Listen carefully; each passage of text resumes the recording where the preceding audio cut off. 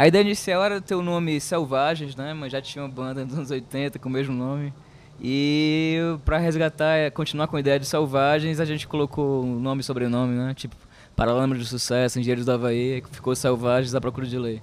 Brasília é muito animal, muito foda, curti pra caramba. E nas nossas músicas a gente já, já tinha profecias de é, as velas do Mucuripe vão bater no Planalto Central e não vai ser só uma vez, vão ser vários ainda. É, a gente já tá com ponto pra caramba, um monte de música nova aí. E sei lá, estamos a fim de começar a produzir já aos poucos o próximo disco. Coisa boa. E se eu quiser achar vocês, como é que eu faço? Na internet, achar música? Lá no nosso site é selvagensaprocuradelei.com ou então sapdl.com. Tem o nosso disco, tem os discos anteriores também. Gente tem um disco independente, dois EPs. E tem o release da banda, tem todas as redes sociais, é muito legal o site. Nós somos os Selvagens à Procura de Lei e esse é o Porão do Rock 2013.